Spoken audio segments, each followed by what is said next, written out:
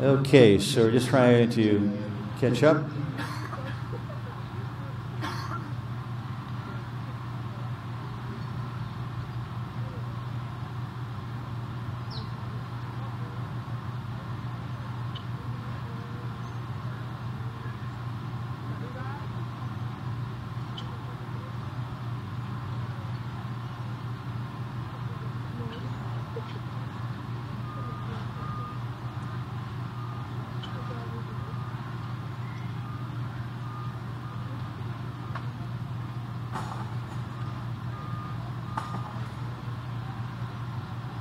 Okay, we're just trying to catch up, please. And uh, Catalina Sarmiento for Colombia just came out of the arena.